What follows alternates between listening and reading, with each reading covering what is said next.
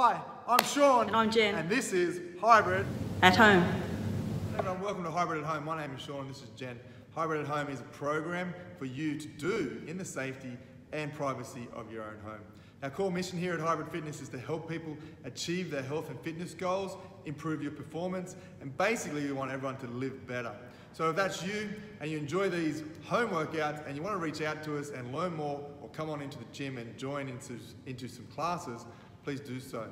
Okay, so uh, as I said, these workouts are for you at home, so we hope you enjoy them. Equipment wise, you don't need anything except a backpack and somewhere to be able to row your body. Okay, so that could be chairs, a rail, or something like that. But we'll explain that when those sort of things come into the program. Today, all you need is your body. Okay, so for the warm up today, we're going to do a five minute piece. Okay, the first minute of that five minute piece is one minute of cardio of your choice. It could be running, it could be skipping, it could be step ups, it could be a simple walk 30 seconds and walk back for 30 seconds. When you get back in the remaining time of that five minutes, which is going to be four minutes, we're going to do 10 glute bridge ups, all right, where we're going to lay flat on our back, just as Jen is demonstrating here. We're going to drive the lower back in the ground, and then we're going to drive our hips to the ceiling, squeezing our glutes or bottom at the top.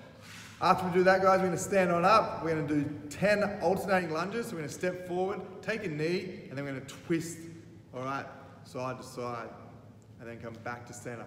With that twist, keep your hands in the center of the chest, so we're rotating through the shoulders and through the waist. So once you finish your one minute, cardio of your choice, you do as many rounds in the remaining time of four minutes of 10 glute bridge ups and then 10 alternating lunges with twists. All right, you might get through it three times, you might only get through it two. Work at a level that is applicable to you. So that's our warm up today. Now session number one, we're going to go through this two times if you can. If two times seems too much for the level you're at the moment, do it one time through. We're going to do three three minute work pieces, okay? So three sets. On the first set, we're gonna do as many rounds as possible in three minutes of 10 air squats. Feet shoulder width apart, chest up, driving those hips back and down. When we go down, guys, make sure the knees are tracking over the toes. So think drive knees out, do not let your knees collapse in. Keep the chest nice and high. From there, we're gonna hit 20 mountain climbers. So we're gonna come into a push-up position. We're running the knees to the chest. So 20 reps will be 10 alternating reps, okay, on each side. So each time you do a rep, rep one, two, three, all the way to 20. Moving on to set two, guys. So after that minute rest, we're on to set two, another three minute AMRAP. So we do the work as many times as we can in three minutes. That's 10 push-ups. So we're gonna start on our knees with the push-ups. With the push-up, keep the body tight. So squeeze the butt, squeeze the belly, hands just outside the chest. Chest comes down to the imaginary line between your thumbs. Now, if you've got the strength to go onto your toes, please do so, but remember with the toe push-up, the midline needs to be strong. No sagging hips, all right, and keep the head still. So brace the core nice and tight. Once you do the 10 push-ups, it's 20 pup shoulder taps. So up into push-up plank position, which means PUP, or is the acronym PUP.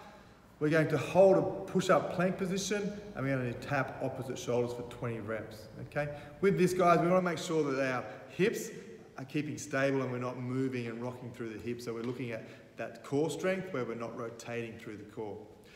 Another minute rest after that, three minutes of work, and then set three is another as many rounds as possible in three minutes of 10 dead bugs and 20 glute bridges. Now the dead bugs can be a tricky exercise to start with.